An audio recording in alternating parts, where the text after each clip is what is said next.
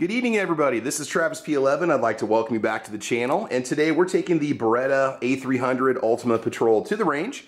Uh, if you are a subscriber of the channel, these boxes of ammo might look kind of familiar to you because this is the exact same ammunition, uh, with the exception of this Fiocchi on the left, that we ran through the AK pattern 12 gauge that we tested about oh, four or five months ago on the channel. I'm really excited to see how well the uh, Beretta A300 Patrol is going to perform. We've got a variety of different velocity. Um, there's really nothing that I've seen in the manual that says that you can't run lower velocity ammunition, stuff that runs around 1200 feet per second, but we'll see how well it cycles. Uh, one of the reasons why it's taken me so long to get this video put together is one, because of the weather. I don't like to film in the middle of blizzards, and two, I have been waiting for this to show up in the mail. Now, just in the uh, nature of full disclosure, the ammunition, the shotgun, everything was bought by me out of pocket. Nothing was given to me by Beretta or Federal. And according to the larger YouTube channels, they were told by Beretta or Federal, one of the two, that that A300 Patrol was developed around this particular load. This is the Federal Premium Law Enforcement Tactical Double-Aught Buck. Now, you can buy this online. Uh, it runs at 1325 feet per second. It's got nine pellets of double-aught buck. Now, there's other ammunition like this that you can go buy in the store. The difference is that this has the FliteControl wad, which, and it also has a, a copper-plated hardened shot. The idea is that it has a more compact, more precise delivery of its payload. Now, again, that's kind of a different philosophy than what you get on some of the other buckshot I'm about to show you, where you might want a little more of a spread. So this is designed to give you, and it's actually referred to as precision shotgun ammo, which is kind of an interesting, almost like an oxymoron, because you don't really think of precision. You think of a nice, you know, nice spread, something that's going to do some damage. Uh, but this is going to contain the shot. So we'll see how well this patterns. Now, just as a comparison, Federal does make something sort of similar to it. Uh, this is the Federal Power-Shok that does run at the same velocity. It does have nine pellets of double-aught buck, um, but it does not have, I believe it doesn't have the FliteControl wad to it. It doesn't say so on the box. So we're going to pattern these two together and see how well it performs. Now, also tested on the channel with that AK pattern um, shotgun is some Winchester uh, 12 gauge that also runs at 1325 for velocity feet per second and has nine pellets of double-aught buck. So we'll see. I'm really interested to see how well these two pattern. We'll be patterning at around 10 to 12 yards, whatever the board is set at, is set at at the range. We'll see how well the shotgun functions. I'm hoping we don't have any issues with it. Uh, a couple things I've run into so far with the shotgun was the sling swivel mounts. Um, they're a little bit, they're set a little bit deep on the on the stock, or that particular mount set deep on the stock. Uh, so I did buy some Blue Force gear um, swivel mounts that I, or some swivels that I put on it. A couple people said you might be able to just back the mount out with an Allen key. I never thought of that, um, but I do want that mount in there as tight as possible, but some people say you can turn it a quarter turn and it will clear. The other thing that was a little disheartening, not the end of the world, but when I was uh, taking the shotgun apart to clean it, uh, I flipped it over on side, just sat it on the mat, and the screw fell out of the top uh, the rear screw that holds the uh, the ghost ring side in place just fell out. It was almost like it wasn't even screwed in place. Like it was just sitting in the top. So I went ahead and screwed it down and torqued it properly. The threads were tapped properly. It just wasn't, I don't know how they didn't realize the screw didn't get tightened properly. I mean, when you tighten a screw, you know when to stop, right? Or you should if you have any kind of mechanical aptitude. So We'll see. Hopefully the shotgun holds up well. I'm not too worried about it. A few people are maybe questioning the uh, the durability of the welds on the uh, the op rod, the, the sleeve that goes around the, the magazine tube. So we'll see. I've got perfect faith that it's going to run well. So we'll just go ahead and do three uh, three rounds at a time uh, for each type of ammunition. We'll just let the video go the whole time and just kind of talk our way through it.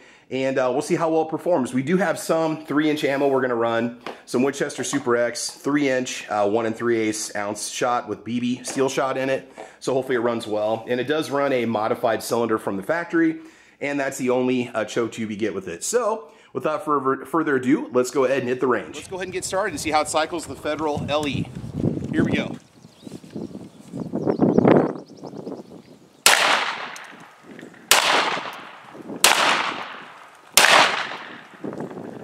All right, so the kick is really not that bad. Um, it is very comfortable to shoot.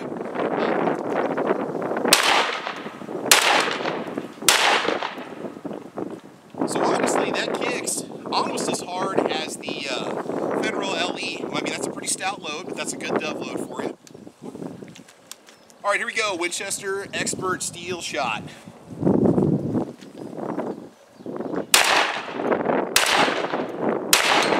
Yeah, much lighter.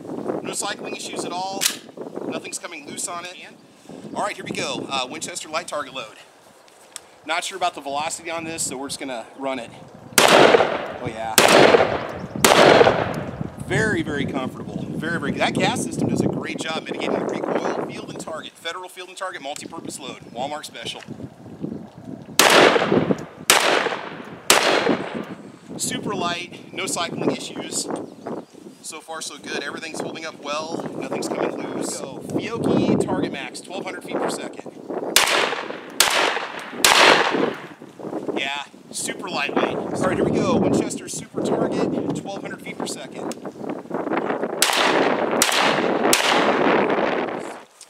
All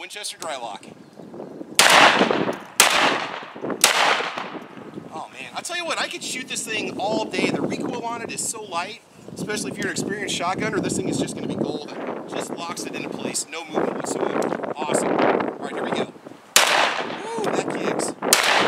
Yeah. Wow, okay. All right, guys, so here we go. We're gonna go and do some patterning with the Federal LE initially, the uh, Federal Power-Shok second, Uh, 9 pellet double aught buck third. And All right.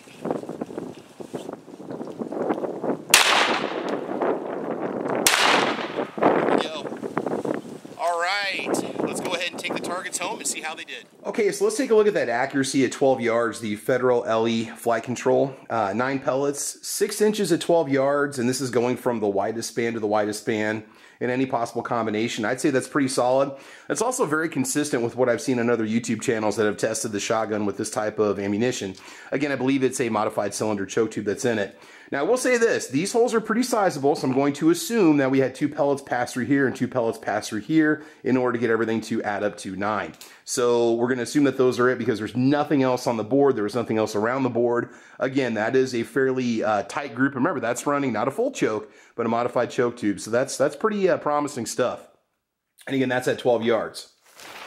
All right, up next, also you could say is a higher velocity round, the Federal Power-Shok without the FliteControl wad. Uh, we're looking at 8 inches at 12 yards. It's still respectable, but had a tendency to pattern more off to the right a little bit. Basically, I was putting the uh, fiber optic sight right on the black dot, and this is where it was landing. So this was, let's see, four, five, six, seven, eight, nine pellets at uh, 8 inches for a spread. I'd say that's pretty respectable. So again, you can see how far it's stretched out, but there's a good bulk of them that were right here towards the center. And again, that's uh, totally that's totally good to go. And last but not least, the Winchester uh, double aught buck, nine pellets. I call this a minute of buck accuracy. Just, just joking, guys. All right, so 11 and a half inches at 12 yards. It goes all the way up to the very top, to the very bottom. But we still have four, four pellets that are in a nice tight group. One, two, three, four, five. About a five or six inch spread, which is respectable. And then a few more that kind of spread out a little bit. Now again, this is just 12 yards. Remember, it's going to spread out probably even more as the uh, distances increase, so just keep that in mind. So that's the Winchester uh, 12 gauge 9 pellet double aught buck. All right, let's go and bring it back for just a few final words. All right, guys, so that's it. That's my quick little range test of the Beretta A300 Ultima Patrol. I had a great time shooting it. And uh, really, you know, I tried to get a good variety of ammunition out there to see how well it would cycle. It had no issues whatsoever. The gas system runs great on it. Uh, ergonomics are wonderful. It's got a nice aggressive texture, like I mentioned before, on the hand grip and also on that pistol grip. And it really does stay planted, even with those gloves that I was wearing, which were not the best, but they were just something to keep my hands warm as it was freezing out there today. Um, it just ran like a champ. So we're going to keep on playing around with it and trying it out. Uh, again, held up together, no problems whatsoever. So is it better than the A1301? You know, you probably want to test both of them, especially extensively, because we're talking about shotguns that run over a $1,000. Uh, there are some advantages that the A1301 has over the A300, you know, but there's a price difference between the two, so you go with what's going to work best for you. Uh, don't forget to check us out on Caliber Corner, which is a podcast that we do Saturday mornings at 8 a.m. Uh, over here on YouTube, uh, 8 a.m. Central Time. We talk guns and ammo, so make sure you check it out. Uh, but in the meantime, I want you guys to have fun. I want you to be safe, and as you know, we will talk to you soon. All right, take care and have a good one. Bye-bye.